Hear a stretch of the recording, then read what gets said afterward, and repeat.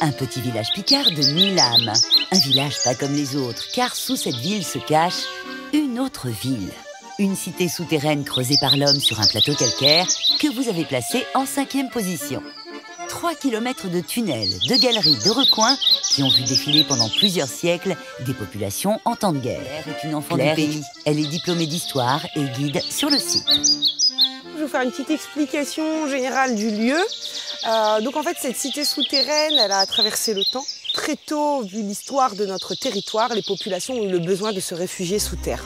La Picardie connut en effet de nombreuses guerres et invasions. De tout temps, les villageois ont eu recours à ce refuge. On sait que les premières dates d'occupation, c'est le XIIIe siècle.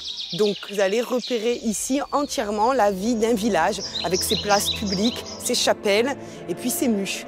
On parle de muche qui signifie cachette en picard. On comprend mieux pourquoi la cité souterraine a servi aussi de lieu de contrebande pendant la Révolution. Ils vont venir ici visiter la cité souterraine. Pendant longtemps, on a cru qu'ils étaient venus pour un hôpital militaire, donc souterrain, alors qu'en fait, pas du tout. On n'a pas retrouvé de matériel militaire, on a retrouvé par contre des signatures. On a retrouvé 3200 signatures de soldats de la Première Guerre mondiale, ce qui en fait aujourd'hui la plus grande collection de graffitis de la Première Guerre mondiale sur le front de l'Ouest. Et en fait, ce sont des soldats principalement de l'Empire britannique qui vont venir ici, puisqu'ils se battent dans la Somme à l'époque pour la bataille de la Somme. Et euh, donc, parmi on va retrouver forcément des Anglais, des Irlandais, des Écossais et des Gallois.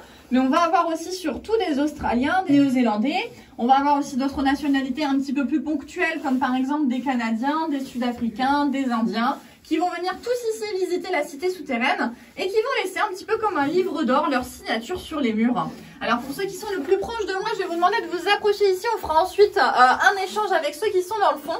Les signatures, elles vont commencer dans En notre effet, les grottes de Naour, en plus d'avoir abrité des populations, ont servi de lieu de stockage illégal, mais parfois aussi légal. On a notamment retrouvé les traces d'un ancien grenier à sel, d'une bergerie, et plus tard, elles auraient même servi de base pour les munitions des Allemands. De nos jours, de nombreux archéologues se passent le flambeau, ou plutôt la lampe frontale, pour venir dénicher toutes les traces du passé de ce refuge. Aujourd'hui, ce sont Gilles et Frédéric qui sont venus gratter un peu. Bonjour Frédéric, bonjour Gilles, ça va? Oui, ça va bien. Alors, euh, quelles sont les nouvelles? Ben, elles sont plutôt bonnes aujourd'hui. Grâce à leurs fouilles, ils ont empoché de nouvelles pièces de monnaie et des balles de mousquet datant du XVIIe siècle. Et les souterrains n'ont pas encore livré tous leurs secrets. Des centaines de graffitis sont toujours à l'étude. Une véritable mine d'or pour les archéologues. Donc tu vois Claire, ici on a un premier graffiti, 1552. Un D'accord. autre ici, de 1579. Pour nous, il s'agit d'observer l'ensemble des parois, de, de reporter ces dates sur le plan pour arriver à distinguer euh, des zones de fréquentation plus importantes que d'autres. D'accord, donc euh, le plus, plus elles sont en nombre, plus ça va pouvoir euh, Oui. certifier euh, l'hypothèse de la présence euh, humaine dans cette cité Oui, oui, souterraine. tout à fait. Les experts ont aussi fait des découvertes plus surprenantes et surtout très ingénieuses. Des cheminées habilement cachées qui permettaient de respirer et de se chauffer sans se faire griller. Il faisait très froid dans la cité souterraine de Naour. D'où l'utilité d'avoir des cheminées, mais la fumée est un excellent repère pour les ennemis, donc elles étaient horizontales et elles allaient jusqu'au moulin des meuniers, d'où se dégageaient les cheminées sans aucun problème. Si aujourd'hui on s'évertue à retrouver les traces de ce passé, ce trou a pourtant bien failli tomber dans les oubliettes. La nature ayant repris ses droits, on perdit complètement sa trace au début du 19e siècle. Et c'est grâce, à l'acharnement d'un homme, l'abbé d'Anicourt, aidé de ses paroissiens, que la cité souterraine sera retrouvée et réouverte en 1885. C'est lors de la Seconde Guerre mondiale que le labyrinthe servira pour la dernière fois de cachette secrète. À quelle période exactement vous êtes venu vous réfugier ici avec votre famille? Au cours de l'hiver 40, 1940-1941. Monique est l'une des dernières habitantes de Naour à avoir eu recours au souterrain lors de la Seconde Guerre mondiale. C'est après le bombardement d'une maison du village que les troupes allemandes les ont autorisées à y passer une dizaine de nuits. Alors Madame Joncar, il n'y avait pas que votre famille qui est venue se réfugier Ah, ici. non, non, non. Euh, on peut dire que les habitants du quartier, Oui. euh, qui étaient assez proches de la maison bombardée, ont, ont pris peur et Ils sont donc venus se ils- réfugier ah oui, ici. oui, oui, oui. Et c'est avec émotion que Monique retrouve la pièce qui leur avait été attribuée. Nous étions sept, quatre enfants, ma grand-mère paternelle et mes parents.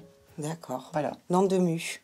Oui, dans deux muches. Voilà. Nous dormions comme cela. C'était spartiate. hein. Donc là, un petit peu de paille. Un petit peu de Pour paille, dormir. donc euh, c'était très froid, euh, Bien sûr, oui. pas confortable du tout. Dans l'obscurité totale. Voilà.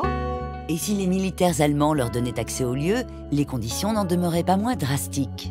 Quand vous êtes venus vous réfugier ici, il y avait des Allemands déjà qui étaient là. Les Allemands étaient là puisque ils nous interceptaient à l'entrée et, et nous devions ouvrir les sacs, montrer les couvertures. Enfin, ils s'assuraient qu'il y avait. Pas d'attentat Ils, ils passaient dans les dans les couloirs, Mmh. dans, les, oui, dans les galeries. dans les galeries. Oui. Et je sais qu'une fois, mon frère était couché et j'avais mal dans les côtes.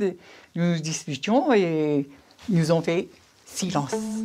À l'intérieur de ces épais murs de calcaire, aucun visiteur ne reste de marbre. À la sortie, certains cherchent encore leurs mots. C'est un site grandiose, exceptionnel et qu'on voit très très rarement euh, de par- parmi tous les deux monuments qui existent au-dessus de terre. D'autres s'en mêlent complètement les pinceaux. Ça fait des années que je passais devant la direction, la cité souterraine de Yao. Euh non, pas Yaour, Naour.